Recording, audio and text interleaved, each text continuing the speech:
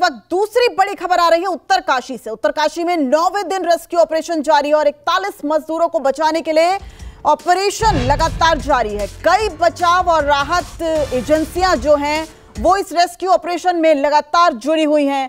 सेना और BRO rescue अभियान में शामिल हैं। पाइपों के ज़रिए मजदूरों को ऑक्सीजन पहुंचाई जा रही है, खाना पहुँचाया जा रहा है। जैसे जैसे एक पल निकल रहा है वैसे वैसे मजदूर वहाँ पर सुरक्षित हैं, ज़िंदा हैं। उसकी जो उम्मीद है, वो कम होती जा रही है। सुरंग में ड्रिलिंग का काम इस वक्त तेज़ी से चल रहा है। ये लगातार जो आप तस्वीरें उत्तरकाशी से सीधा देख रहे हैं कि किस तरीके से एक निर्माणाधीन जो टनल थी, उसके धंसने की वजह से 41 मजदूरों की ज़िंदगी उसमें फंस गई है और अब उन्हें निकालने के लिए लगातार रेस्क्यू ऑपरेशन जारी है।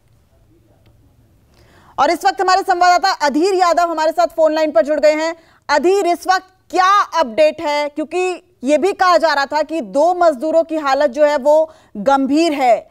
क्या इस वक्त अपडेट है?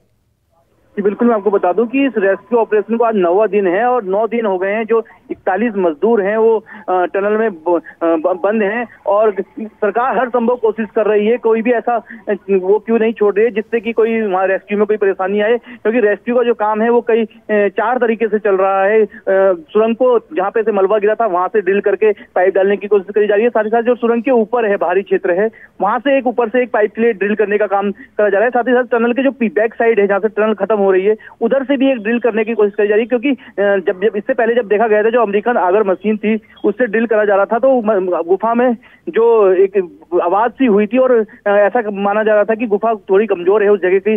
तो टनल में इस वजह से उस मशीन को जो है रोक दिया गया था। साथ ही अब दूसरे प्लानों पे भी काम करा जा रहा है कि रेस्क्यू को कैसे सुरक्षित तरीके से इन जो जो फंसे हुए हैं उनको निकाला जाए। जो बात करें अंदर फंसे हुए मजदूरों की तो उनमें से सभी के सब साथ साथ जो है बातें हो रही है। सरकार उनसे बातें कर रही है, प्रशासन उनसे बातें कर रहा है। साथ साथ जो उनके परिवार वाले हैं, उनसे उनकी बातें कराई जा रही हैं। लेकिन आज नौवा दिन है और ये कहना वो लाजमी होगा कि जो नौ दिन में वहाँ पर मजदूर हैं अब उनकी जो है हिम्मत वो जवाब दे रही है और अभी ऐसी खबर आ रही थी कि कुछ मजदूर अंदर बीमार थे उनके लिए कुछ दवाइयाँ वगैरह भी पाइप के थ्रू भेजी गई है। हालाँकि जो उनका राशन है राशन खाने पीने का बहुत बहुत शुक्रिया। और इकतालीस मजदूरों को बचाने के लिए इस वक्त जद्दोजहद पूरी की जा रही है और अब बुलेटिन